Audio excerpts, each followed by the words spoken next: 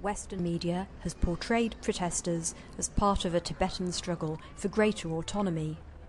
Chinese TV only shows them as an angry, violent mob. Perhaps it's not surprising that Western and Chinese views of the unrest and its causes remain worlds apart.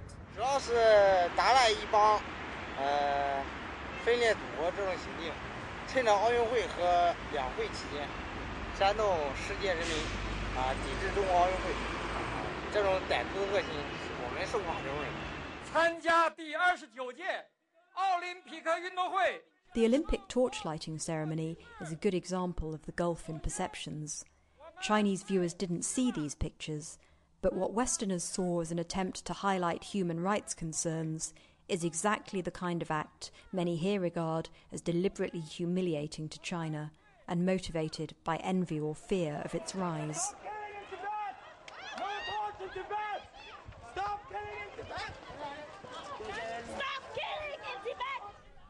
Of course, state censorship and propaganda colour their vision. And of course, those who disagree with the government may not feel they can say so. But most people here simply believe that Tibet is a historic part of their country, and a poor one at that, in need of a helping hand from Beijing.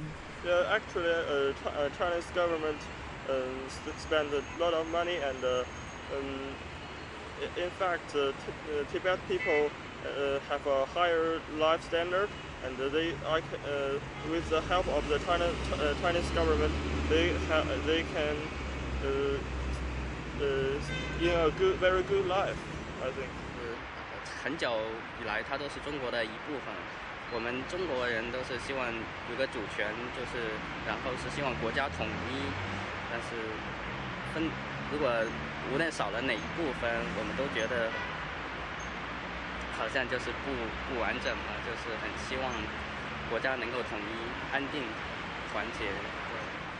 State television spreads this message of solidarity even in the wake of the riots, seeking to show that life in Lhasa returns to normal thanks to the cleanup operation. But protests are continuing to flare elsewhere. And until journalists can travel freely, none of us, Chinese or Western, will really understand why.